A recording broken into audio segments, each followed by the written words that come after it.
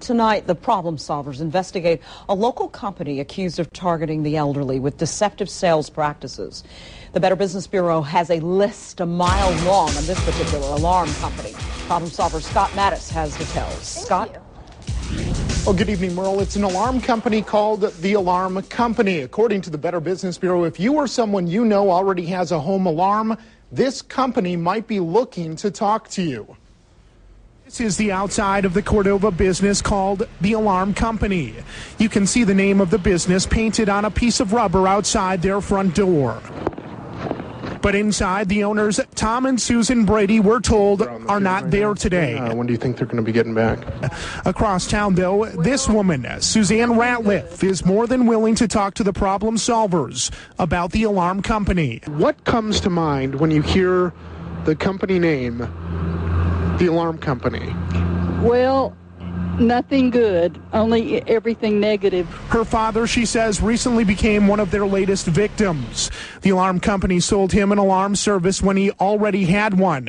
He's 85 years old and has been diagnosed with mild dementia. I kept saying, Well, what did they do?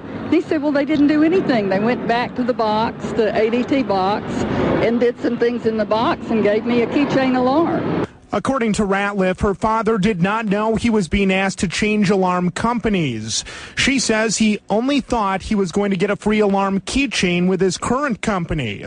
ADT. And according to the Better Business Bureau, the company cleverly named the alarm company over the last three years have had a pattern of complaints alleging deceptive sales practices, including targeting the elderly. Their customers allege that they're misleading them. But Randy Hutchinson adds another of their methods is targeting homes with alarm stickers already on the home. They're going knocking on people's doors, representing that they're with the consumer's current alarm company, and somehow convincing them and confusing them and misleading them into switching their services to the alarm company. When we went over to talk to the owners at their Cordova business location, I, I don't want to be on camera. We were told by two new employees that both Mrs. and Mr. Brady were out working in the field. Yeah, you speak to Tom Brady. He'll be in tomorrow morning. While they say they've not received any calls of complaints, all our customers seem to be pretty happy. According to the Better Business Bureau's website, nearly 700 people have logged on looking into the alarm company's unsatisfactory record. And in just the last 36 months, they've been reported to the Bureau 28 times, ranging from contract issues to product issues.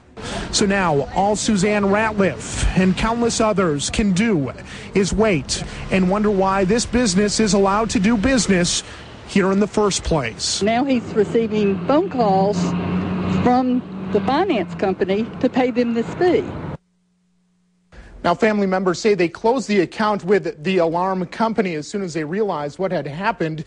But again, they're still being hounded by a card company, a credit company, for nearly $2,000 on behalf of the alarm company. Now, I tried to contact the owners of the alarm company on several different occasions.